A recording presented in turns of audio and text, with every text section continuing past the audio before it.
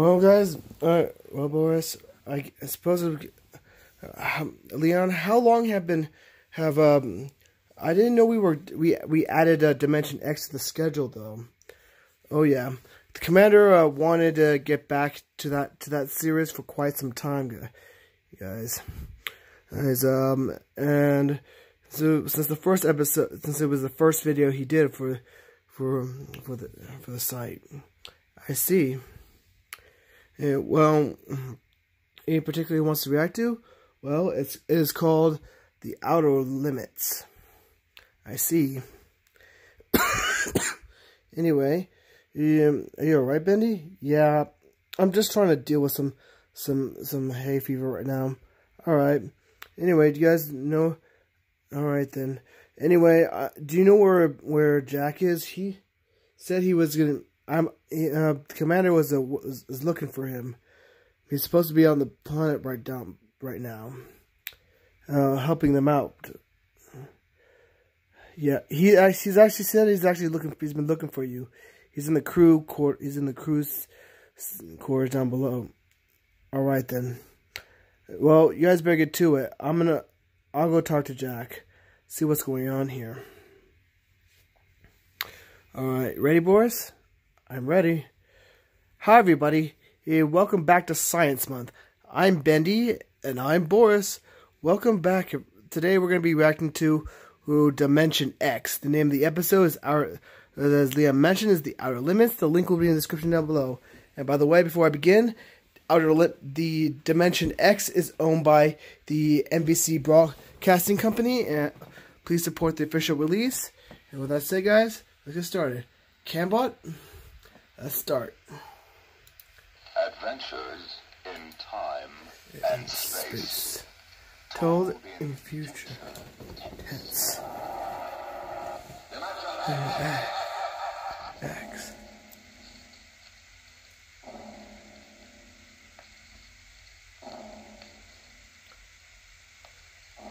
This is a serious question. Can you predict what will come in 100 years? No. Or in 10? Or in the next minute. Hmm. Some people think they can. Nuclear scientists, mathematicians, astronomers, biologists. They'll predict the shape of the future. Why? Because they make the future. Ah. Because they see beyond the known dimensions of time and space. Yeah. Into True. the unknown. Dimension X. Oh, yeah We go ahead now in time to 1965. We're on the wow, vast long time ago. runway set in the desert of the southwest. A giant metal ship stands before us, prow pointed for the stars. And in five minutes, the signal will flash, and it will tear up through the atmosphere to the outer limit. The outer limit, yeah.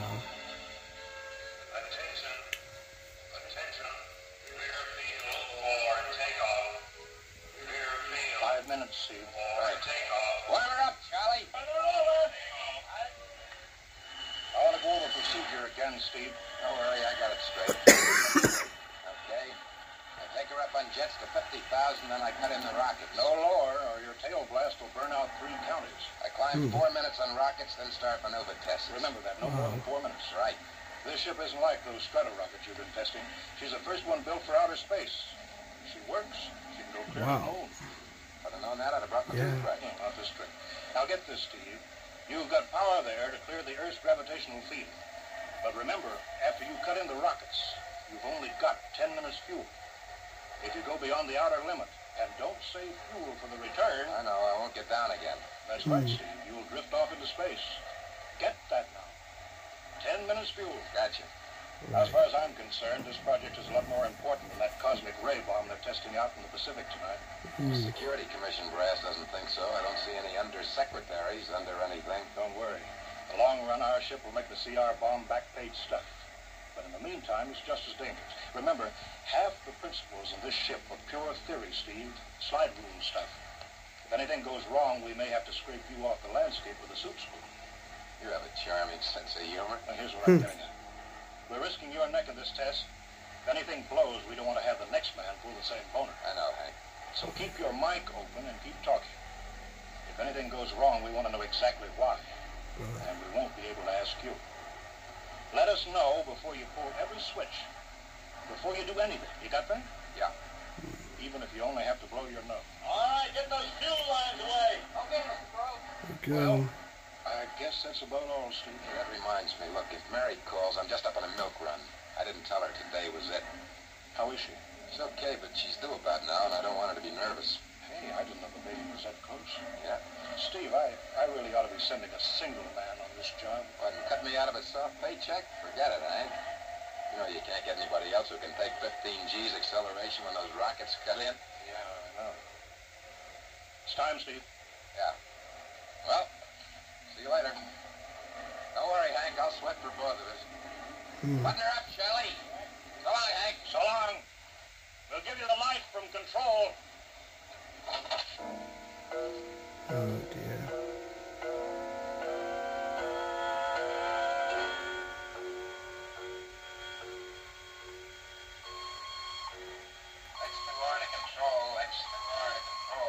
Yet, Hank? Okay, Steve. Got you on the speaker. I'm ready to go. Mr. Hanson, Ready on radar, Sergeant? Mr. Hanson, you better see this. What is it, Elsa? Message sent for Steve. Mrs. Weston just left for the hospital. What? Hello, Steve. Yeah. Stand by a minute. Shall we hold the takeoff, Mr. Hanson? What? Oh, yes. Uh, no, wait, wait just a minute. It's, uh, it's too late now. You going to tell him? Maybe he's got enough to worry about. Hey, what's holding us up, Hank? Something on your mind? No, no, it's it's nothing, Steve. I just want to say good luck. Clear for takeoff, Charlie? Right. Okay. Give him the light.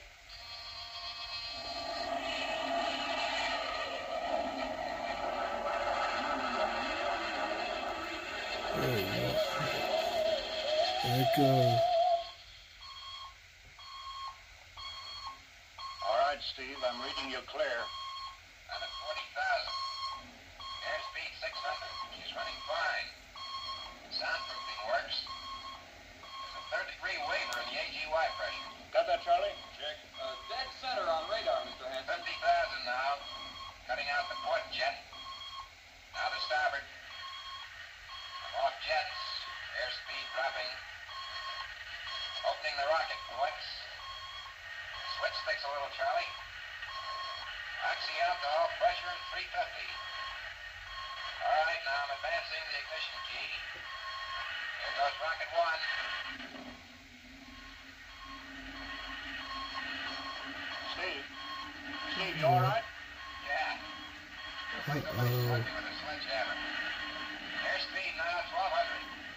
Number two.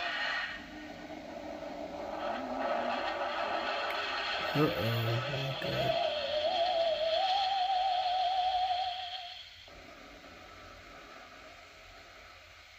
Hello, Steve. Elapsed rocket time is now four minutes. What's your altitude? Over to you. Speed 4400. Still climbing. Altitude 297 miles. All right, you're at the outer limit. Level off for maneuver test. You've got exactly six minutes fuel left. Okay. Starting a three degree left bank. It's a little sluggish. There, it's all right now. There's a low vibration someplace. Maybe the cockpit hatch. Now I'm straightening out. Five minutes fuel left. Now I'm starting a three degree. Ru- hey, What's the matter? What's wrong? there's something up here. Something shining. What are you talking about? There's something above me, Hank. I'm going to chase it. Steve, Steve, you're at the outer limit now. I can see it plain now. Steve, don't go any higher. You've only got four oh, dear. minutes left. You've only got... It's static. I can't hear you, Hank. It's dead ahead now. I'm going to make a pass at it. Get a good look. Hey, it's swerving to meet me. It's dead ahead now. It's dead ahead.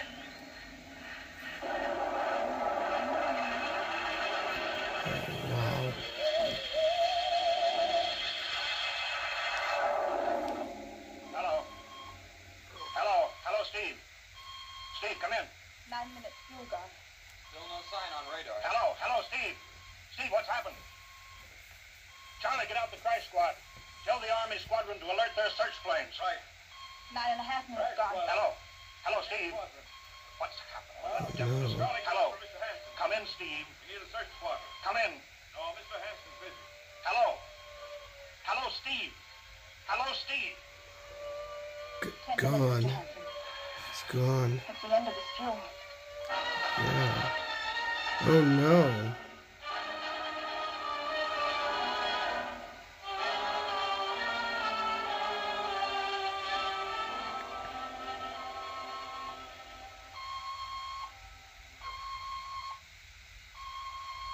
How long's it been now? Ten hours, Mr. Hanson. Nothing more on radar, Sergeant? Screen's blank. Colonel Corelli called in. Search planes are back. They didn't find anything. Should be some trace.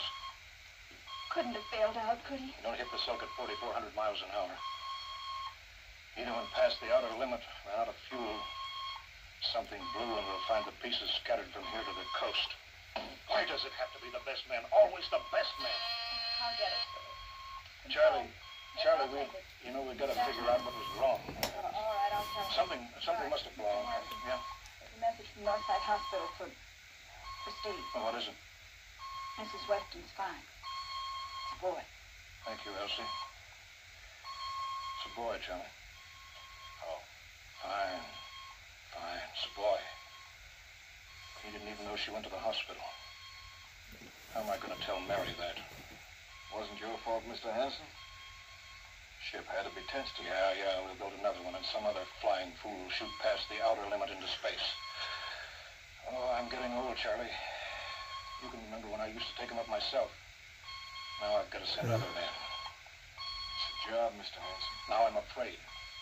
Every time I hear a jet go up, I jump. Every time I have to send someone up in a new model, I start to sweat. Hmm. Mr. Hanson. Yeah? I think there's something on the radar. No flights scheduled in either, Elsie. We have the whole day cleared. It's coming in behind us. Here it comes over the building. What crazy jockey is buzzing the field like that? Is that an army plane, Charlie? I can't see. It's turning. Charlie, alert the field. I know that engine. Steve, that's impossible. Hmm. Oh. It can't be. Well, there's no other model like that. It's Steve, all right. It's coming in. Thank God. Thank God.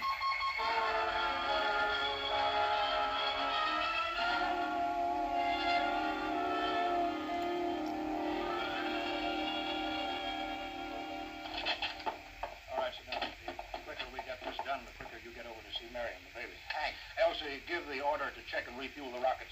I don't want anybody in here till I get Steve's reports. Bury any calls. All right, let's have it. What the devil happened? Hank, does that cosmic ray bomb still go off tonight? What are you talking about? Straighten out, Steve. Where have you been for the last ten hours? Listen, Hank, there's something more Come on, come on. I've got to get a report on the screen to Washington, so let's have it. I've got to know how you stretched ten minutes fuel to keep you in the air for ten hours. Now, one thing before I talk. Look, have the Steve. Geiger men run over the ship before they refuel. What'd you run into? So help me, Hank, I don't know. We better check and make sure it isn't radioactive. Elsie, add a Geiger report on the standard check. Steve, maybe we better have the doc look you over, too. No, no, I'll be all right. They said I'd be all right. They? Look, son, I know you've had a tough time, but we've had this field on the alert for ten hours. One of the Army boys cracked up looking for you, and he's hurt bad. So let's have the story. Let's have it straight. I don't know how to tell you.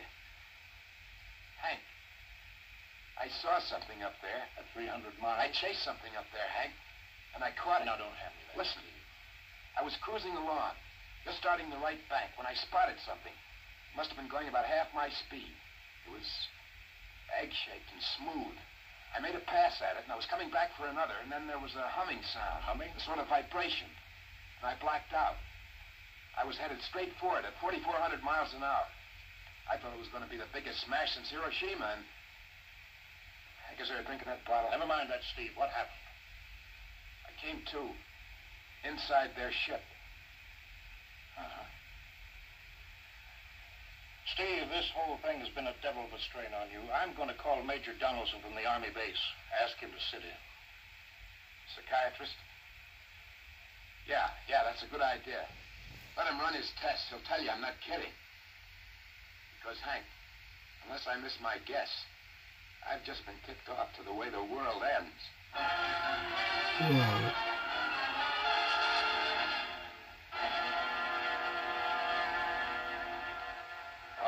Mr. Weston, suppose you continue your story. Yes, let's have it, Steve. You woke up inside the ship? Yes, and uh, the place was jammed with machinery. Dials, blinkers. I couldn't recognize anything. And you were surrounded by these men from Mars. I didn't say anything about men from Mars. I didn't even say they were men. I couldn't see them clearly. They were just there. Where did they come from, then? Another galaxy. Millions of miles outside of our solar system. That's all I know. You figure out where they came from. And they came all that distance to find the Earth? Yes. Did they tell you that? Yes. You mean they spoke English to you? No, no, they didn't. It's funny. I hadn't thought. They didn't really speak to me at all. They just planted the thoughts in my mind. You mean thought transference, telepathy? Yes, that's right. Was Hmm. brought them here? Amazing. We did, Hank. We rang their bell. We brought them in. How? With our atomic explosions. Hank, that's why you've got to stop that bomb test tonight. I'll give up. Look, you've got to believe me, Hank. Oh, how can I make you understand? Maybe I can help, Mr. West. Would you submit to narcopsychometry? What's that? Under proper drugs, I can put you back in this uh, ship by suggestion. Then we can get a playback record of your memory pattern on the audio circuit. How long will that take? Half an hour. We'll have to go over to the lab. Will you believe me if it checks? It will give us an accurate memory picture of what your mind reports. All right, let's go. Hank, you gotta believe me. We haven't got much time.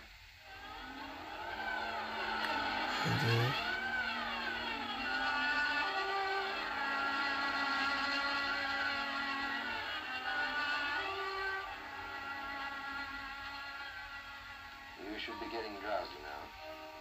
Count backwards from ten. Nine. Eight. Seven. Six.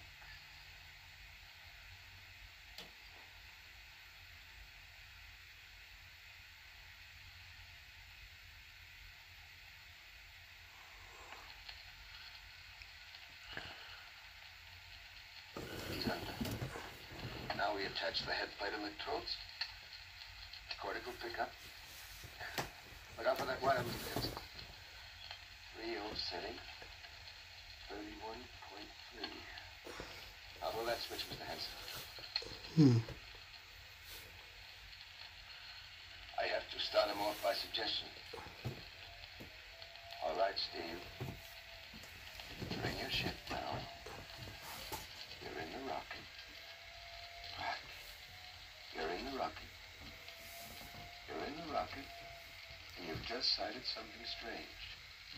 Now I'm starting at three degree right. What's that? Hey, there's something up there. Something shiny. His memory pattern. They're picking it up electronically. There's something above me, Hank. I'm gonna chase it. It's tied through the audio centers. I'm getting static. I can't hear you, Hank. This is where we lost contact with him. I'm gonna make a pass at it and... Hey, it's swerving to meet me. It's dead ahead now. It's dead ahead. No. This is where he blacked out. There's no telling how long, minutes or hours. What's that noise? I don't know. Where? How did I get in here? What? Who are you? Is he seeing things? Intergalactic Patrol. What's that? What are they saying? what are they saying? It's about nuclear fission. They know about it. Know the danger of it. Long ago they had wars destroyed them. Finally they learned. Now they've outlawed war. Go on, Steve. They patrol space. When their detector picks up an atomic explosion, they send a patrol. What are they going to do? They've quarantined us. Quarantined? They've isolated the Earth. Because we don't know how to control ourselves yet. Until we learn, we'll be a menace to the whole universe. What is this nonsense? How are they going to do it, Steve? They've spread a layer out here of, I don't know how to call it, all around the Earth. It's miles deep. When there's an atomic explosion on Earth, the radioactive particles will drift up to this layer and set off a chain reaction. It'll go around the world in micro for a second. Oh no. That's the end. The end? Wait, wait. Yes. Yes. I understand. I've got to bring back the warning. You're going to put me back in my ship to bring the warning.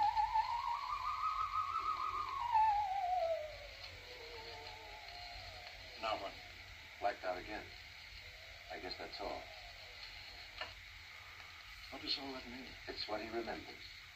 Don't think that really happened. No, no. Narcopsychometry circuits produce what he remembers. It just means that Steve believes this happened. I don't like to see this. Oh, I've seen too many tough pilots snap. Steve is the best I've known. How bad do you think he is? frankly, outside of the presence of this well-organized hallucination, there's no sign of unbalance. May not be too serious. If you had a more plausible story, I'd be inclined to believe it. Hank, it's all right, boy. Did you hear it, Hank? You understand? Sure, sure. We've, we've been quarantined. Let me give you something to make you sleep, Steve. Don't you understand? They fixed it so that if we set off one more nuclear explosion, that'll be it. Of course. Don't go to sleep now. You don't believe me. Now, take it easy, Steve. But the test tonight. They're setting off the CR bomb. Hank, what time is it? Well, it's scheduled for midnight. Hank, we gotta stop that bomb. Steve, let Donaldson give you the hypo. Hank, you've gotta believe me. I saw them. I got the warning. If we touch off that bomb tonight, it'll be the biggest galactic Fourth of July of all Oh, time. dear. The whole Earth will go up like a Roman candle. April 10th, 1965, the end. Now, look, Steve, you better calm down. Don't you want to see Mary and the baby? You've got a new son, remember? Yeah, that's just it, I want to see my son. I want him to live. If that bomb goes off, Hank, we've got to stop them, Mr. Hanson, I think we'd better get over to the base house. Hank, you've got to believe Yeah, me. sure, sure, Steve. Maybe there is something to it. Look, it's out of your hands. I'll put it in a report and shove it into Washington in the morning. In the morning, there isn't going to be any morning, Hank. Don't you understand? You've got to call Washington now. Get the head of the Security Commission and postpone that test. Now, you know I can't do that, Steve. My neck would be out a mile. Besides, this is 1965, not 45. Twenty countries have atomic bombs now.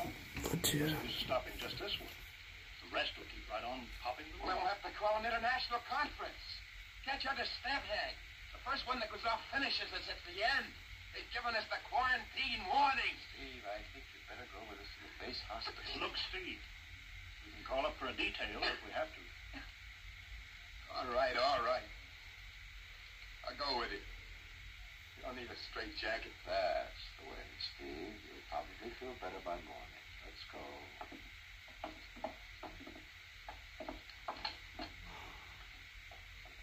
Dear. Well, Steve, tomorrow I'll drive you over to the hospital to see Mary and the kid. Sure. Look at the ship under the floodlights. Pretty, huh? You'll be flying her again soon, don't you worry. Yeah, yeah, I guess so. Uh, what you doing out in the line? They, uh, refueling? Yeah, we got Clausewitz coming in tomorrow from Denver for another test. Figure we give you a day off. That's good. That's fine. Steve! Steve, come back! Come on, Donaldson. Steve! Steve, wait! He's heading for the rocket. Look, there he goes up. Easy. Oh, we... You can't get at him now. That covers armor glass. He's waving. Yeah, towards control. Oh, it's the radio. He needs the radio. Come on. I should have gotten help. Well, the radio's still hooked up here. Hello. Hello, Steve. Listen to me, Hank. You gotta call Washington now. Come out of that rocket, Steve. I'll call my men. Don't try anything, Hank. They've refueled the rocket for tomorrow. Take it easy, Steve. Listen, you know what'll happen when I fire the rocket tubes down here? Steve, don't. It'll burn out every building for five miles. All of us in one big blast. Steve, what do you want? You've gotta stop that bomb. You gotta call Washington right now. They won't believe me. You make that call or I cut in the rocket. Now, I mean it, Hank. Now, hook my screen to yours in parallel. I want to see exactly what you're doing. All right, all right. And Just don't fire those rockets. Get going, Hank. You've Got 12 minutes to make that call and stop that bomb. All right, I'm making the parallel hookup right now. Thomas, what do you think he'll really blast? I don't know. Up to now, I'd almost say he was normal, but now he's liable to do anything, Hanson. Steve, Steve, there, you getting it on your screen? Yeah. I put that 12 through. All right. Operator. Business screen to Washington. The business screen circuits are busy, sir. You'll try again in half an hour. This is Security Commission priority. Break in, get me a line. Yes, sir. Just a moment, please. Ten minutes, Hank. Listen, Steve, I'm trying. Ready to take your call, sir. Uh, Washington, Security Commission 3. This is urgent. I want Undersecretary Herbert Ames. Washington 3. One moment, please. Hurry, will you? One moment, please. What time is it, Dawson? 1151. Do you think you'll fire those rockets? She might. Washington, This is screen 3. Mr. Herbert Ames, please. that is a coded exchange. I cannot accept your call without clearance. Get it through, Hank. Listen, Washington, put it through. This is Mr. Hanson at San Marco Air Base. This is a priority call. I'm coded. One moment, please. I will check your code number. Get that through, Hank, and that bomb goes off at 12. Will you be reasonable, Steve? I- Your call has cleared, San Marco. Washington, this is screen three. Herbert Ames, please. Security Commission Yeah. Listen, Ames. Ames, you gotta get me to the chief. Are you kidding? He's at the test control room. Yes, I know, but get him for me. What's up? You look lousy. Or is it a bad circuit? There's no time. I've got to get him before the test. It's about the CR bomb. I can't take that responsibility. Uh, uh, get that through, Hank. Right flag. What's going on there? Ames, my project has a high enough rating. This was a priority A call. What? Okay, it's your neck. I'll try to get him for you.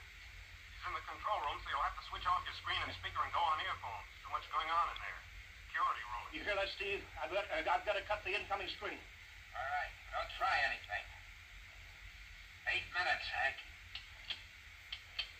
Hello. Hello. What? Got him, Hank? Yes. This, this is Hanson at San Marco. No, sir. Priority A request to cancel the bomb test. No, no, I'm serious. This is deadly serious. We sent the X2 JTR up today to the outer limit. We uncovered evidence. Yes, on the automatic instruments. What's that? No possible chain reaction. No, I, I can't tell you the whole story. There isn't time. Yes, yes, I'll, I'll bring the readings into Washington in the morning. You've got to postpone the test till you see them. Look, I've worked on contracts with the Commission for 10 years. Yes, yes, I have complete confidence in my information. You can record that. All right, I, I'll call you back immediately. Bye. Hank? He's agreed to cancel, Steve. The bomb won't go off. Good. All right, boy. You can come down out of that ship. Good, good.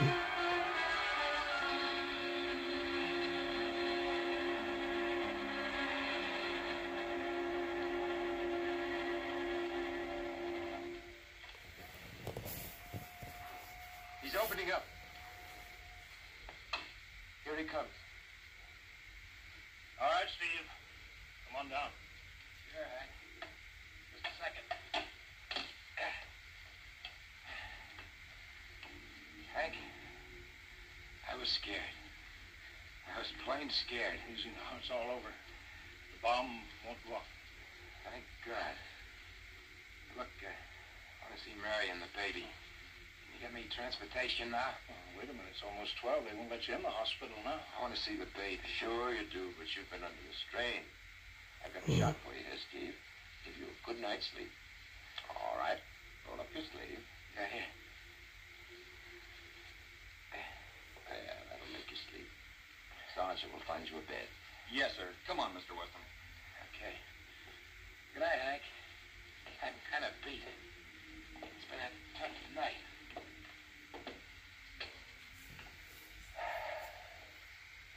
It sure has. I thought for a minute he was going to blast those rockets and send us all to Kingdom Come. Yeah. Quite a stunt getting the ray bomb test called off. It isn't called off. But The chief said... Ames couldn't get the chief. I was talking to a dead circuit. Bomb goes off in a couple of minutes. Oh. Poor No. Steve. Was one of the best. He was the best. One in ten million. Some story of this poor guy. For a while, he almost had me believing that quarantine. That's a very common delusion. End of the world. Yeah, I suppose so. Ah, it's a nice night. Never saw the stars so bright. We better be getting in. That wind is cold. The bomb goes off in 30 seconds. Poor Steve. You know, Hanson, there's just one thing. Yeah? It's outside my field, but I'm curious. How did he keep that ship in the air for 10 hours with only 10 minutes fuel?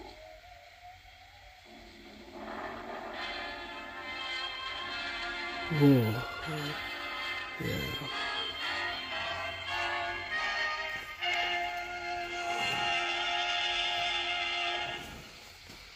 Just heard The Outer Limits by Graham Doar. An adventure in time, space, and the unknown. Well, that guys, that was the Dimension X: The Outer Limit. I'm gonna be honest, guys. I thought this was an awesome episode and really uh, kept kept me at my edge of my seat. What do you think, Boris? I think so too. Well, guys, I think till next time, guys, we're gonna be getting back to Fallout, the Fallout Storyteller. Episode, we're, start, we're starting at the beginning of, I think, the Great Vault. I that'll be and and we'll hope to see you guys next time, guys. Till then, I'm Boris, and uh, I'm I'm. And, uh, you mean you're Bendy? Don't forget. All right, sorry. Yeah, um, that's Boris. I'm Bendy. We'll see you guys next time. Bye, everyone. See ya. Commander. You wanted to see me, Jack. What are you do, doing here? You're supposed to be on the planet with, with, with our with our allies, with with with command with commander and Jack and Joe out there. Leon, I want answers. Answer? What do you mean? Don't don't hide it, Leon. I want answers. There's, it's just what what happened what happened to Winston Jr.? What happened to Rapid Gamer?